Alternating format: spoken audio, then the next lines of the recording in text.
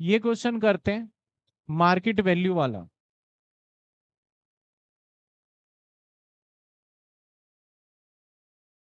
इसको करने से पहले हम कुछ बातों को जान ले तो ज़्यादा बेटर रहेगा ताकि हमें क्वेश्चन में कंफ्यूजन ना हो बिल्कुल भी। कुछ पॉइंट्स को हमें समझना होगा। उससे पहले जो फॉर्मेट वाला कॉलम है ना हमारा, आ जाइए फॉर्मेट वाले कॉलम के साइड में हम बातों को लिख लें। अरे कहाँ गया? ये रहा। सर, जो मार्केट वैल्यू का फॉर्मेट बनेगा ना, एग्जैक्टली सेम बनेगा। एग्जैक्टली सेम बनेगा।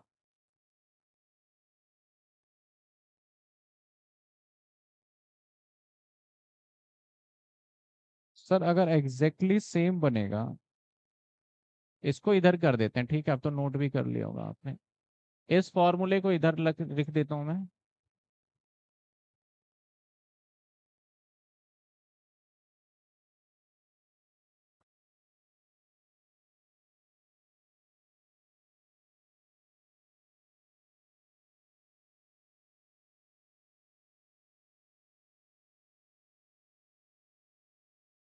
हम्म हम्म।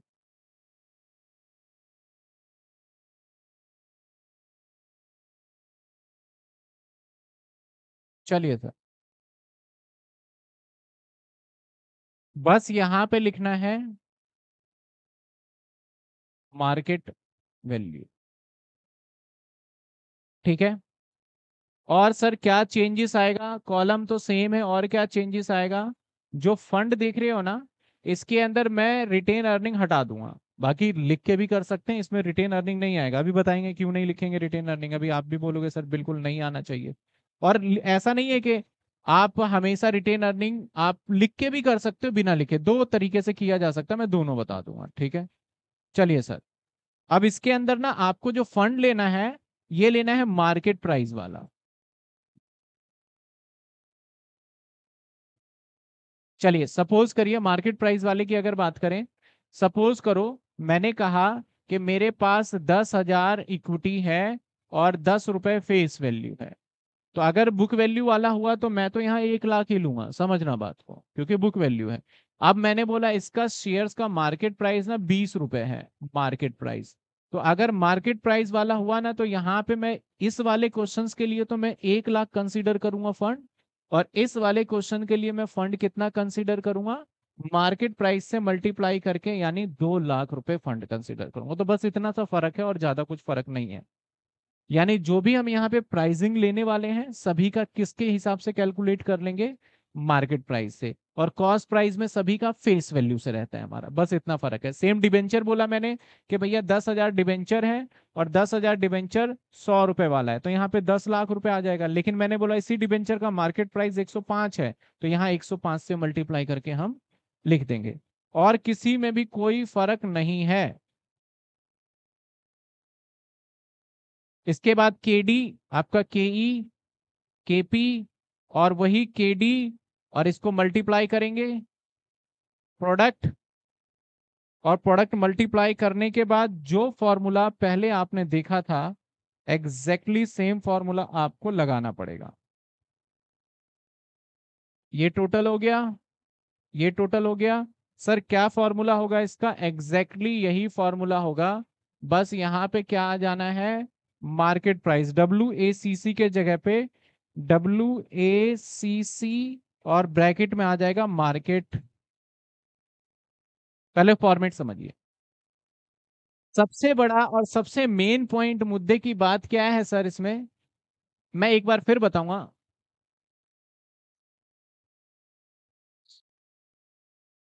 सर वॉइस नहीं आएगा, अभी मैं क्लियर कर रहा हूँ। वॉइस क्लियर है? कुछ बच्चे कह रहे हैं वॉइस नहीं आ रही। बता दीजिए मुझे, मैं चेक कर लू। यहाँ पे तो ठीक है।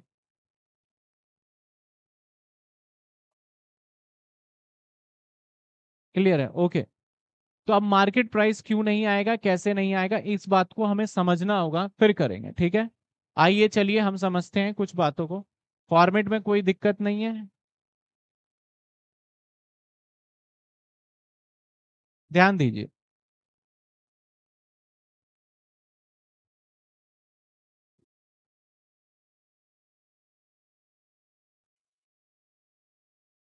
मान लीजिए एक्स, वाई, जेड लिमिटेड एक कंपनी है। ध्यान दीजिएगा, एक्स, वाई, जेड लिमिटेड एक कंपनी है। और आप एक इन्वेस्टर हो। तो जो इन्वेस्टर होता है, वो जब कभी भी किसी कंपनी के अंदर पैसा लगाएगा तो उस कंपनी की सारी चीज़ों को देखेगा। यानी उस कंपनी के प्रॉफिट को देखेगा, उस कंपनी के लॉस हो या उस कंपनी के assets, liability, each and everything. तभी आप उस कंपनी के अंदर फंड को इन्वेस्ट करोगे। हुआ ऐसा कि इस कंपनी का जो है, शेयर का फेस वैल्यू जो है, वो सपोज़ करो बीस रुपए है। ठीक है? आप इस कंपनी के पास जाते हो और कहते हो, सर, आपका शेयर का फेस वैल्यू बीस रुपए है, हमने आपकी सारी कंपनी की सारी चीज़ें को देखा है, बहुत वेल एंड गुड है, हम आपकी कंपनी के शेयर्स खरीदना चाहते हैं, एक लाख शेयर और ये लीजिए बीस लाख रुपए। तो आप मुझे बताइए, क्या कंपनी ये ये कंपनी जो है बीस लाख रुपए में अपने एक लाख शेयर इसको दे देगा या नहीं देगा? मैंने कहा, ये फेस वैल्यू है और बहुत पुरानी कंपनी है ये।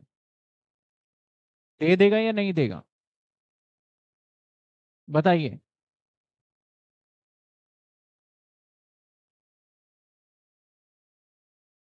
ऐसे सिचुएशन में हर शेयर का वैल्यूएशन होगा। जैसे हम किसी प्रॉपर्टी को बेचते हैं तो ऐसा थोड़ी है कि जितने का बोलेगा, उतने का दे दे, खरीदा, उतने का थोड़ी दे देंगे हम। प्रॉपर्टी का वैल्यूएशन लगेगा, आज का करंट मार्केट प्राइस लगेगा। और जब करंट मार्केट प्राइस होता है तो क्या होता है पता है आपको? एसेट में प्रॉपर्टी का मार्केट प्राइस कैसे निकाला जाता है? वैल्यूएशन ऑफ़ सिक्योरिटी हालाँकि आपने वैल्यूएशन ऑफ़ शेयर्स में सीखा था। जिसमें से सारे एसेट्स में से क्या करते हैं? सारे लाइबिलिटी माइनस कर देते हैं। उससे नंबर ऑफ़ शेयर्स डिवाइड कर देते हैं। अब जिसने नहीं सीखा है, मैं सिंपल बता देता हूँ। मान लीजिए कंपनी के पास जो एसेट्स है, वो दस लाख रुपए का है और लाइबिलिटी जो है, वो मान लेते हैं कंपनी के पास तीन लाख रुपए का है जनरल रिज़र्व कंपनी के पास एक लाख रुपए का है सिक्योरिटी प्रीमियम दो लाख रुपए का है और कोई और फ्री रिज़र्व रिटेन अर्निंग है। रिटेन अर्निंग जो कंपनी के पास है, वो एक लाख रुपए का है। तो लाइबिलिटी साइड कितने हो गए? तीन और एक चार, दो छ और एक सात। मैं पूरी बैलेंस शीट ही बना देता हूँ, नहीं तो कोई फिर बच्चे बोलेंगे, सर, ये कैसे कर दिया आपने? बैलेंस शीट ही बना देते हैं, इधर बना लेते हैं बैलेंस शीट देखिए। एक सिंपल बैलेंस शीट बना लेते हैं।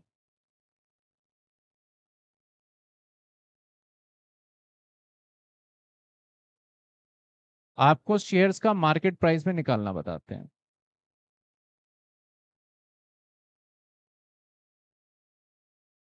मान लेते हैं एफ़ ए बीस लाख।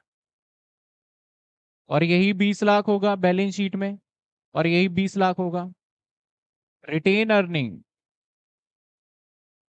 रिटेन अर्निंग एक लाख। आपका जनरल रिज़र्व। दो लाख। Security premium. एक लाख। लाइबिलिटी। लाइबिलिटी में, करंट लाइबिलिटी फिक्स लाइबिलिटी, सारी चीज़ें मान लीजिए चार लाख। बाकी हो गया शेयर कैपिटल तो कितने हो गए? चार दो छ और दो आठ लाख तो बाकी बारह लाख हो गया शेयर कैपिटल। थोड़ा मैंने ऐसे लिख दिया, ठीक है? कंपनी का शेयर्स का, एक शेयर्स का वैल्यू पता है कैसे निकाला जाता है? जो मार्केट में ट्रेड होना चाहिए, जिसको बोलते हैं इतने का शेयर तो इसका है, कंपनी आज बंद भी हो जाए तो इतने का शेयर होगा। तो सपोज़ करो क्या करते हैं हम, एसेट्स में से सारे एसेट्स में से हम माइनस कर देते हैं लाइबिलिटी और लाइबिलिटी का मतलब होता है आउटसाइडर लाइबिलिटी। इसमें से जनरल रिज़र्व माइनस नहीं करते। इसमें से हम रिज़र्व एंड सरप्लस माइनस नहीं करते। इसके अंदर सिक्योरिटी प्रीमियम यानी ये सब माइनस नहीं करते। तो सिंपली और डिवाइडेड बाय कर देते हैं नंबर ऑफ़ शेयर। ये तो हो गया एसेट्स माइनस लाइबिलिटी करके। दूसरा हमारे पास ऑप्शन होता है कि हम क्या करें? शेयर कैपिटल प्लस में reserve and surplus divided by number of shares divided by number of shares ये लिख दें। दोनों का मतलब एक ही है, देखो। अब बीस लाख में से मैं लाइबिलिटी माइनस कर दूँ, चार लाख तो बचेगा कितना? सोलह लाख। नंबर ऑफ़ शेयर्स देखो, बारह लाख बताया, मान लो दस रुपए का एक है तो एक लाख बीस हज़ार हो गया ना। तो सोलह लाख डिवाइडेड बाय एक लाख बीस हज़ार। तो सोलह लाख डिवाइडेड बाय एक लाख बीस हज़ार का मतलब क्या समझते हैं हम? मतलब यही समझते हैं कि आज के दिन अगर कंपनी बंद भी हो गई ना तो तेरह रुपए तैतीस पैसे तो कंपनी को बेचने के बाद भी हर एक शेयर होल्डर को मिल जाना है। क्योंकि नंबर ऑफ़ शेयर्स कितने? एक लाख बीस हज़ार। कंपनी अपने लाइबिलिटी वगैरह भी सबको पेमेंट कर दे तो कंपनी के हाथ में सोलह लाख तो आने ही है। और 16 लाख आने के बाद इसको बांटा जाएगा तो हर किसी शेयर होल्डर के केस में कितना आएगा? अगर ये कंपनी बोले ना, मैं अपनी कंपनी का शेयर दस रुपए में लेने आ रहा हूँ तो ले लो। नुकसान कहीं से कहीं तक नहीं है, क्योंकि पता है आज कंपनी डूब भी जाए तो आपके पैसे तो मिलेंगे और तीन रुपए एक्स्ट्रा ही मिलेगी। लेकिन यही कंपनी कहती है कि मैं अपना शेयर बीस रुपए में ला रहा हूँ तो थोड़ा रिस्की मामला है।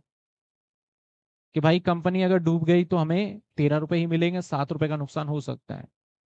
तो जब कभी भी इसको बोलते हैं बुक वैल्यू ऑफ़ शेयर्स या वैल्यू ऑफ़ शेयर्स तो जब कभी भी शेयर्स का प्राइस आपका जो प्राइस है, वो उसके बुक वैल्यू या उस शेयर्स के प्राइस से बिलो चल रहा होता है तो कंपनी बायबैक कर लेती है। तो कंपनी बायबैक करती है। ऐसे नहीं करती कंपनी बायबैक आपने अकाउंट्स में पढ़ा होगा बायबैक लेकिन रीजन ये होता है बायबैक करने का। बोलता है, यार, मेरा शेयर का प्राइस इतना चला गया। बाहर वालों से अच्छा हम ही खरीद लेते हैं। मुझे पता है कि आज के दिन कंपनी बेचेंगे तो उससे ऊपर जाएगा। सेम अगर ये वाला फॉर्मूला अप्लाई करो share capital plus reserve and share तो शेयर कैपिटल क्या होगा? एक लाख, दो, तीन लाख और एक चार लाख और बारह। अगेन देखो, यही आ गया, सोलह लाख डिवाइडेड बाई एक लाख और कितने आ गए? थर्टीन पॉइंट थ्री यानी मैं ये कहना चाहता हूँ, आप दोनों तरीके से शेयर्स का वैल्यूएशन निकाल सकते हो।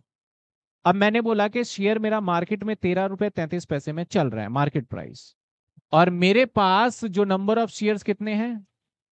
एक बीस. और अगर मैं बुक वैल्यू वाला क्वेश्चन करूँगा, ध्यान से सुनना, अगर मैं बुक वैल्यू वाला क्वेश्चन करूँगा तो एक बीस को मल्टीप्लाई तो दस से करूँगा, क्योंकि फेस वैल्यू दस है। इसका मतलब कितने आएँगे यहाँ पे बुक वैल्यू वाले में? बारह लाख आएगा शेयर्स और अगर मैं मार्केट प्राइस वाला करूँगा तो कौन बच्चा बताएगा कि मैं एक बीस को किससे मल्टीप्लाई करूँगा? मार्केट प्राइस वाला करता हूँ तो। 13.33 से मल्टीप्लाई करूँगा। तो अगर मैं 13.33 से मल्टीप्लाई करूँगा तो कितने आएँगे? 16 लाख। अब आप मुझे एक बात बताइए मार्केट प्राइस जब मैं लिख रहा हूँ शेयर्स का, और वहाँ 16 लाख ले रहा हूँ तो रिटेन अर्निंग क्या जुड़ गया? उसमें नहीं जुड़ा। या अलग से जोड़ेंगे? क्या 16 लाख में रिटेन अर्निंग है? क्या 16 लाख में सिक्योरिटी प्रीमियम है? हाँ भाई, सारी चीज़ें जुड़ी हुई है, तभी तो जोड़ के अभी बताए ना, इन सबको जोड़ के 16 लाख बन रहा था। पहले ये देखिए, आप एक मिनट सोचिए आराम से, फिर मैं दोबारा इस पर डिस्कस करूँ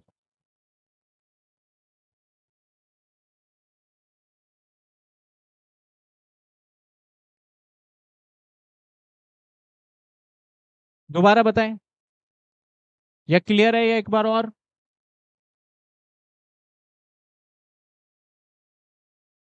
बच्चे कह रहे हैं, सर एडिड है एडिड है। जिन बच्चों को समझ में आ गया, वो कह रहे हैं, सर एडिड है, बिल्कुल ठीक जवाब है एडिड है।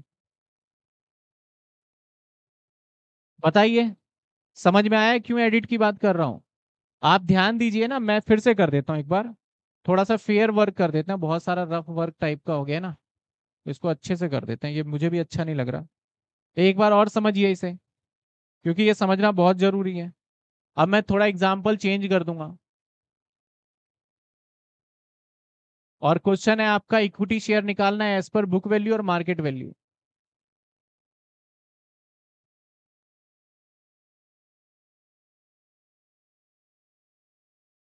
जिन स्टूडेंट को समझ में नहीं आया, एक बार और देख लीजिए आप, है ना? एक मैंने ओल्ड बैलेंस शीट बना दिया। ये लाइबिलिटी और ये एसेट ठीक है? यहाँ पे लिख दिया मैंने एफ़ ए पूरा का पूरा फिक्स एसेट से मान लेते हैं बीस लाख। तो सर, साहब, इसका टोटल भी क्या हो जाएगा? और ये भी बीस लाख, ये सबको ही पता है। इस साइड मैंने लिख दिया शेयर कैपिटल आठ लाख। इधर लिख लिया रिज़र्व रिज़र्व सिर्फ़ लिख रहा हूँ मैं दो लाख। सिक्योरिटी प्रीमियम लिख रहा हूँ मैं एक lakh. Retain earning retain earning लिख रहा हूँ मैं दो लाख। और मैं लाइबिलिटी इस साइड मेंशन कर रहा हूँ तो कितने बच गए? दस, तीन, तेरह, सात लाख। और शेयर का जो फेस वैल्यू है ना, एक शेयर का face value that is ten rupees है। अब मैं आपसे जानना चाहता हूँ कि शेयर्स का मार्केट प्राइस मतलब कि बुक वैल्यू क्या है? एक शेयर का प्राइस क्या आएगा? वैल्यूएशन क्या लगेगा शेयर्स का? तो वैल्यू ऑफ़ शेयर्स का कैसे निकालेंगे? सर इसका फॉर्मूला बन गया हमारा एसेट्स में से क्या करो? माइनस कर दो सर क्या? और डिवाइड कर दो नंबर ऑफ़ शेयर्स या सर इसको दूसरे एस्पेक्ट से सोचे तो हम कर सकते हैं।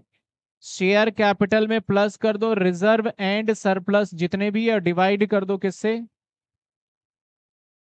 क्योंकि आप अल्टीमेटली सोचो ना, इस एसेट्स में से अगर ये वाला लाइबिलिटी घटाओगे तो बचेगा तो यही पोर्शन ना सिर्फ़?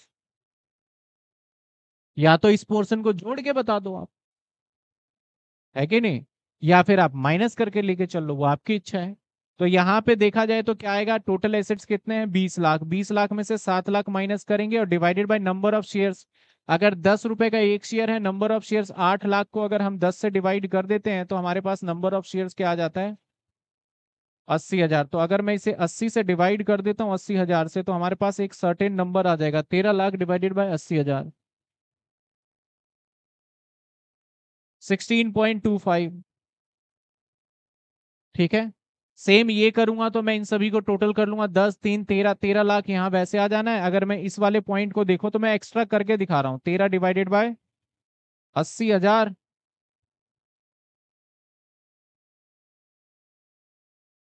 बिल्कुल सही जवाब। अब मैं क्या जानना चाहता हूँ आपसे? मैं मान लेते हैं कि डब्ल्यू ए सी सी में मैं बुक वैल्यू के हिसाब से मैं अपने इक्विटी शेयर कैपिटल कितना लूँगा मैं? इक्विटी शेयर कैपिटल कितना लूँगा? सर, इक्विटी शेयर कैपिटल आप लोगे अस्सी हज़ार, बुक वैल्यू में तो आपका फेस वैल्यू चलता है दस, दैट इज़ आपका आठ लाख। हाँ या ना? लेकिन मार्केट प्राइस के हिसाब से अगर हम, मैं निकालू, ये पुराना ही ना। अगर मैं मार्केट प्राइस के हिसाब से डब्ल्यू ए सी सी निकालू आपका डब्ल्यू ए सी सी और वो भी मार्केट प्राइस के हिसाब से इक्विटी शेयर तो आप क्या करोगे सर? अस्सी हज़ार को मल्टीप्लाई आप करोगे sixteen point two five that is आपका तेरह लाख। करेक्ट है? अब मुझे ये बताइए कि जो तेरह लाख रुपए है, ये तेरह लाख रुपए बना कैसे था? इसमें इक्विटी शेयर भी था? इसके अंदर रिज़र्व एंड सरप्लस भी था? इसमें सिक्योरिटी प्रीमियम भी था रिटेन अर्निंग जब सारी चीज़ों को जोड़कर, उस सारी चीज़ों को फैक्टर करके ये पूरा तेरह लाख आ ही चुका है तो वापस से मैं रिटेन अर्निंग अगर जोड़ दूँ तो दो बार रिटेन अर्निंग नहीं जुड़ जाएगा उसमें। लेकिन हाँ यहाँ पे रिटेन अर्निंग अभी जुड़ा नहीं है तो रिटेन अर्निंग आ जाएगा सिक्योरिटी प्रीमियम आ जाएगा जनरल रिज़र्व आ जाएगा, सब कुछ आ जाएगा यहाँ पे। सर रिटेन अर्निंग कितना है हमारे सवाल के अंदर? दो लाख। तो यहाँ दो लाख आ जाएगा। सिक्योरिटी प्रीमियम कितना? एक लाख। एक लाख आ जाएगा। रिज़र्व कितना है? दो लाख। और अब ये बनेगा कितने? तेरह लाख। सर, इसके लिए तो जो मल्टीप्लाई करते थे दैट इज़ के ही लेते थे। तो इन सब के लिए भी तो क्या आएगा? के ही आएगा, क्योंकि शेयर कैपिटल का ही हिस्सा है। तो जो बुक वैल्यू था उसके अंदर इन सभी चीज़ों को कंसिडर करेंगे। और जो मार्केट प्राइस होगा, उसके अंदर इन सब चीज़ों को क्या करके चलेंगे? इग्नोर क्योंकि मार्केट प्राइस के अंदर सब इंक्लूड ही हो जाता है ऑलरेडी समझ रहे हो बात को?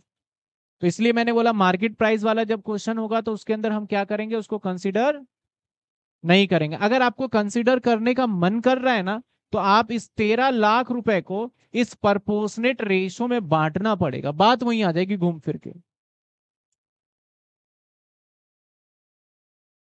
तो मार्केट प्राइस जब कभी भी होगा तो रिटेन अर्निंग दे दे रिज़र्व एंड सरप्लस दे दे सिक्योरिटी प्रीमियम दे दे, इन सभी को क्या करके चलेंगे हम? इग्नोर करके चलेंगे, क्योंकि वो जो मार्केट प्राइस का शेयर्स होता है ना, उसमें सब कुछ फैक्टर हो चुका होता था। फैक्टरिंग यानी इंक्लूड हो चुका है। ठीक है? तो वही मैंने फॉर्मेट में लिखा था अभी कि सर वो चीज़ों को इग्नोर करेंगे। जैसे कि यहाँ पे मेरे वाले सवाल के अंदर क्या बोला गया है? कि you are required to estimate weighted average cost of capital based on the market value अब मार्केट वैल्यू में हमें सिक्योरिटी प्रीमियम दिख रहा है रिज़र्व एंड सरप्लस दिख रहा है शेयर होल्डर फंड दिख रहा है तो ये जो सिक्योरिटी प्रीमियम और ये चीज़ें दोनों दिख रही है, इन चीज़ों को मैं कंसिडर नहीं करूँगा, नहीं लूँगा। क्योंकि जब मार्केट प्राइस से हम मल्टीप्लाई करेंगे इक्विटी शेयर को नंबर को तो ऑटोमेटिकली उसके अंदर वो आ जाएगा। तो चलिए इसको देखते हैं कैसे करना है।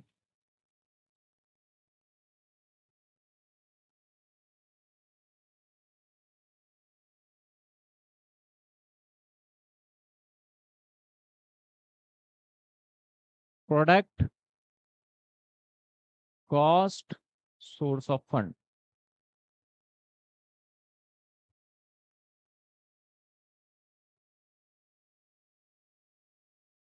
Source particular fund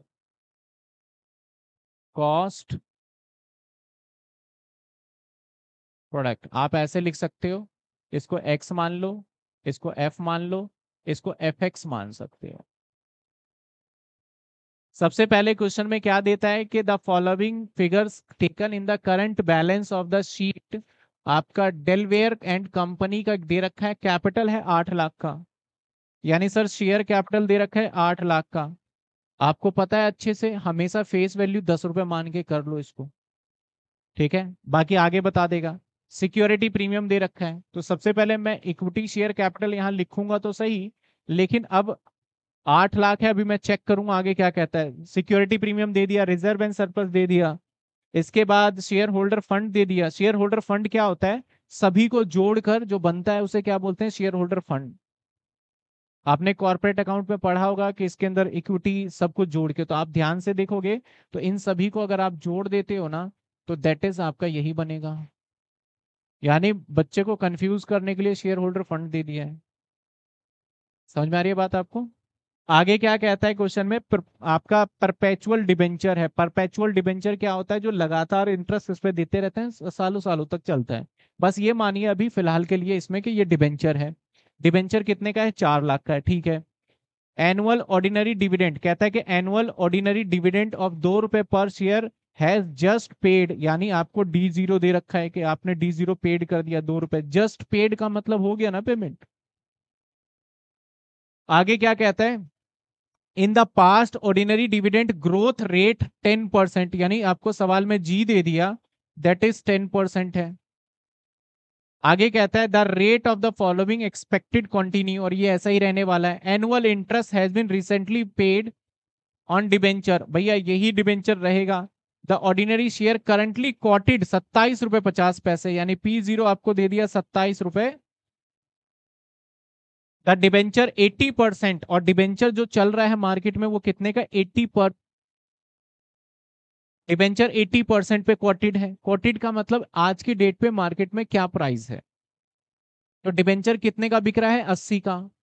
और शेयर्स कितने का बिक रहा है? सत्ताईस रुपए पचास पैसे का। और इग्नोर टैक्सेशन बोलता है टैक्स वैक्स नहीं है भैया यहाँ पे। कहता है you are required to estimate weighted average cost of capital तो बड़ी सीधी सी बात है भैया, हमारे पास आठ लाख का शेयर कैपिटल है। अगर नंबर में पूछ लू तो आप क्या बोलोगे? दस रुपए का एक मान लेते हैं।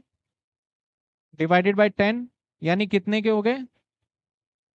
अस्सी हज़ार। तो मैं मल्टीप्लाई यहाँ शेयर कैपिटल को निकालने के लिए क्या करूँगा? अस्सी हज़ार इंटू में सत्ताईस पॉइंट फाइव तो कितने आएँगे बताइए?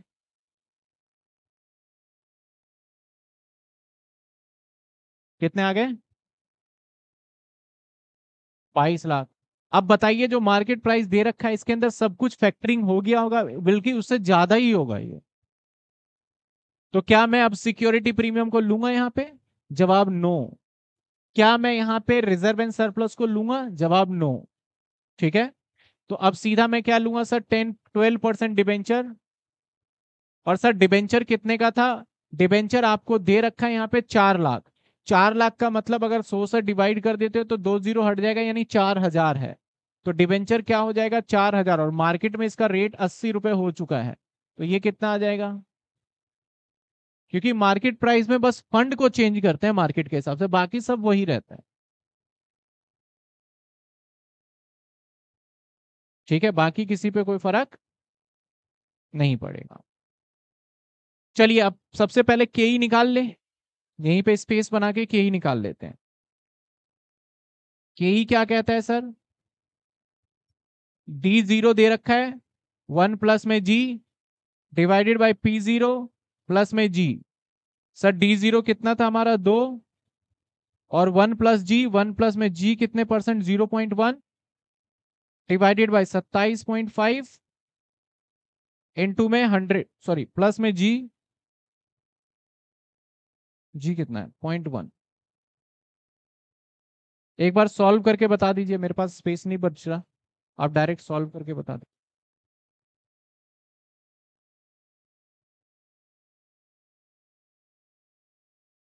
एक बार सॉल्व करके बता दीजिए।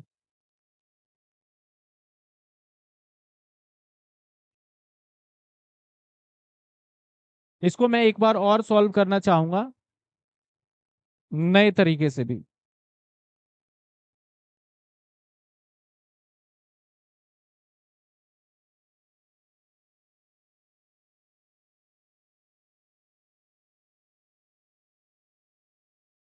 कितने आ रहा है? के ही बता दीजिए। ज़ीरो पॉइंट, यानी अठारह परसेंट। Eighteen percent. समझ में आया यहाँ तक? अब केडी निकालेंगे हम। अब केडी में टैक्स नहीं है, लेकिन मार्केट प्राइस चेंज हो गया है केडी का। तो केडी मार्केट प्राइस के अकॉर्डिंग अगर निकाला जाए तो केडी क्या होगा sir K D is equal to interest one minus में टी डिवाइडेड बाय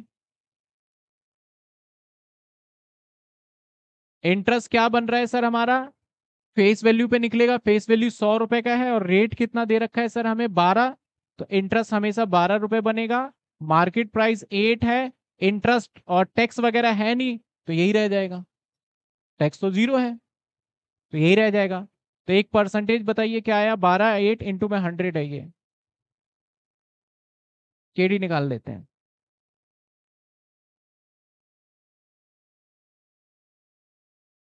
सर पंद्रह परसेंट का केडी का रेट आ गया। अब वेरी सिंपल है। क्या करें सर? इसके लिए 0.18 ले लेते हैं इसके लिए 0.15 ले लेते हैं। 22 लाख का 18 परसेंट दैट इज़ 396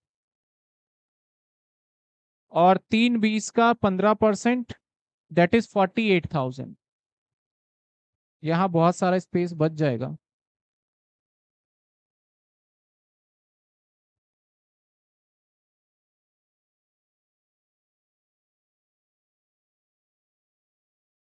ये आ जाएगा बाईस लाख, पच्चीस लाख और three ninety six triple four क्या आएगा सर? के ओ या W A C C market price W A C C market price के हिसाब से। क्या बनेगा बताओ? प्रोडक्ट आ जाएगा sigma divided by sigma into hundred triple four divided by पच्चीस लाख।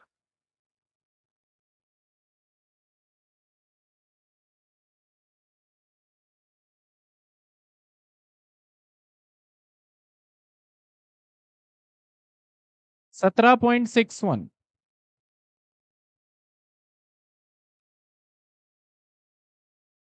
Six two भी लिख सकते हो, पॉइंट नाइन आ रहा है।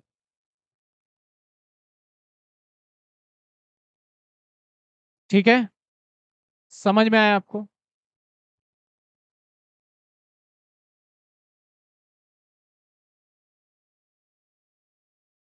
इस इस वाले टॉपिक में हमने क्या सीखा, सर? इसमें यही सीखा कि मार्केट प्राइस में सब कुछ को हमें मार्केट प्राइस से मल्टीप्लाई करना होता है।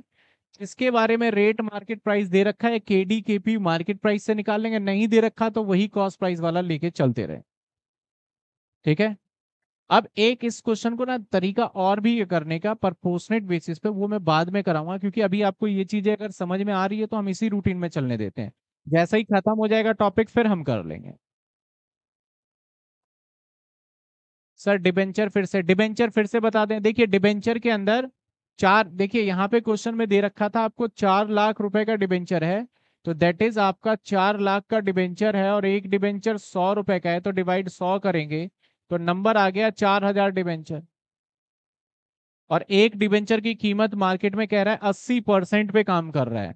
कहता है मार्केट में शेयर्स इतने पे और डिबेंचर अस्सी परसेंट, यानी अस्सी रुपए का डिबेंचर काम काज कर रहा है। तो मैंने क्या करा, चार हज़ार को अस्सी से मल्टीप्लाई करा तो करंट मार्केट प्राइस किसका आ गया सर? ये आ गया करंट मार्केट प्राइस हमारा डिबेंचर का। और फिर हमने केडी भी निकाल लिया करंट मार्केट प्राइस के अकॉर्डिंगली इंटरेस्ट वगैरह लगा के पंद्रह परसेंट। और वही मैंने अप्लाई किया जो आप पहले सीखा था अपने लास्ट क्लास में।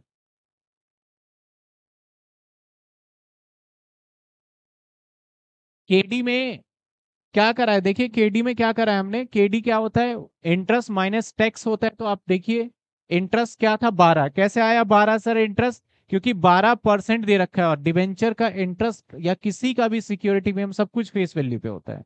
तो भाई सौ रुपए का फेस वैल्यू था तो बारह रुपए का मैंने एक इंटरेस्ट मान लिया कि बारह रुपए इंटरेस्ट पड़ रहा होगा एक डिबेंचर पे। और एक डिबेंचर की कीमत कितनी पड़ रही होगी? अस्सी रुपए मार्केट में जो कॉटेड है।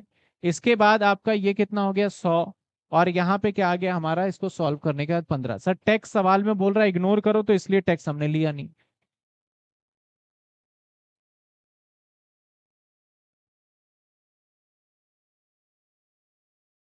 नहीं हंड्रेड देखो डिबेंचर मैं बता देता हूँ आपको डिबेंचर के केस में और प्रेफरेंस शेयर के केस में अगर आपको फेस वैल्यू ना दे तो ऑलवेज हंड्रेड मान लीजिए और अगर इक्विटी शेयर के केस में फेस वैल्यू ना दे तो ऑलवेज दस मान लीजिए। ये हमारा एजम्पन चलता है पूरे के पूरे एफएम में।